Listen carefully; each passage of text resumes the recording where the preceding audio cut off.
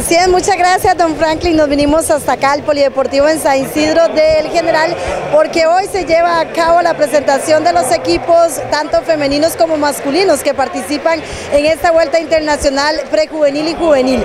Y acá pueden ustedes observar un gimnasio completamente lleno de muchachos de diferentes equipos, tanto del país como también fuera del territorio nacional. Tenemos a doña Evelyn Rodríguez, ella es tesorera de la Federación Costarricense de Ciclismo. Aquí tenemos a doña Evelyn. Bueno, muchas gracias por acompañarnos, doña Evelyn. Buenas tardes.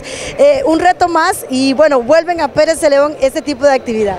Sí, estamos muy contentos. La expectativa fue, bueno, sobrepasó las expectativas de ver el montón de muchachos de todo el país que hicieron eco del llamado que hizo la Federación Costarricense de Ciclismo en unión con el Comité Cantonal de Deportes y la Municipalidad de Pérez Celedón, que fue, bueno, total apertura de un inicio que vinimos. Doña Evelyn, en este caso específico estamos hablando creo que de alrededor de 250 muchachos y muchachas. Sí, entre los dos grupos son 237 ciclistas, por ahí andan. O sea.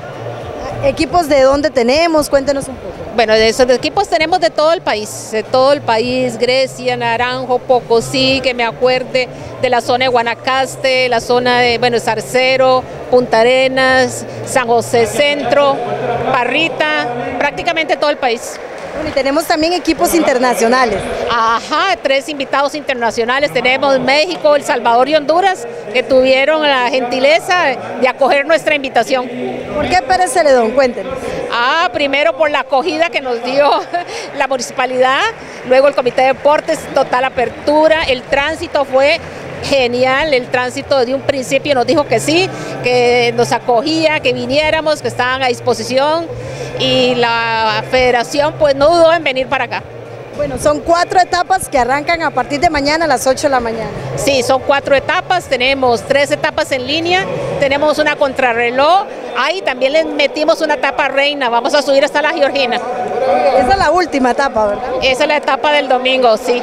Esperamos que estos muchachos, para muchos de ellos va a ser una gran experiencia porque siempre lo han seguido eh, por la Vuelta a Costa Rica, uy, que qué miedo el cerro y no sé qué, y para ellos están como nerviosos porque van a subir esa parte del cerro. Bueno, y es que, doña Evelyn, sin lugar a dudas, el Cerro de la Muerte siempre ha sido la etapa más difícil en la vuelta ciclística, ¿verdad? Y bueno, incorporar este, este tramo, porque no es toda, ¿verdad? Es, es un tramo de más de 30 kilómetros por ahí, pues es importante para ellos que están jóvenes, que vayan aprendiendo y todo. Sí, claro, la experiencia que van a adquirir va a ser enorme y además de eso es la etapa reina de la vuelta. Entonces se van a llevar esa experiencia, eh, esas sensaciones que van a tener el domingo de que ellos también subieron la etapa reina. Así es, doña Evelyn, muchas gracias y bueno, ahí vamos a estar dando cobertura propiamente a toda esa actividad deportiva. Claro que sí, bienvenida. Eh, espero verla en la caravana y ahí va a estar bien protegida. Si quiere ir este, con alguno de los comisarios o algo, con mucho gusto le damos esa experiencia. Muchas gracias, doña. Con mucho gusto.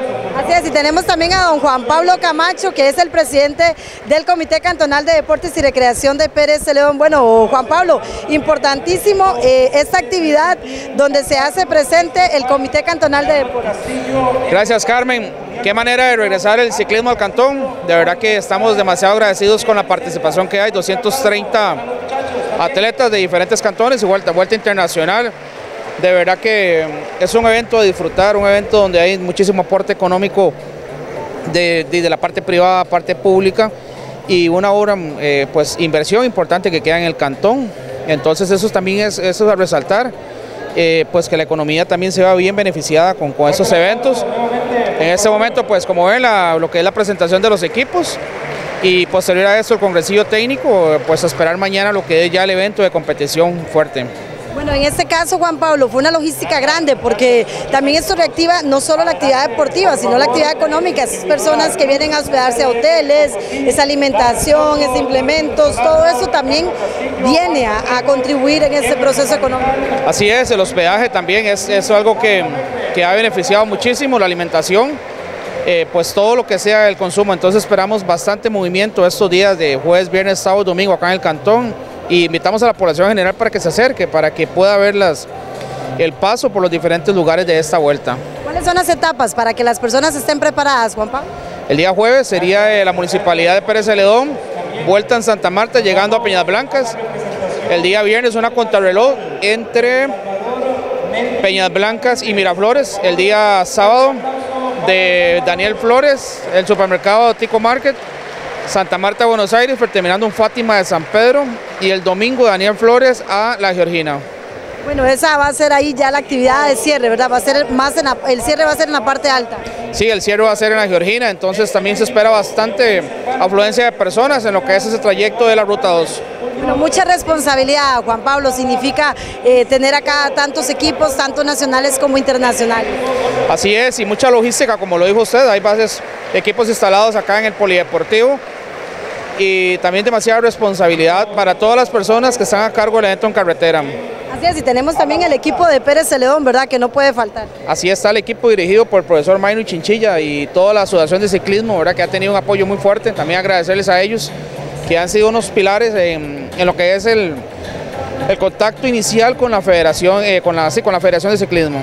Así es, muchas gracias Juan Pablo. Carmen, muchas gracias también por, por darle cobertura.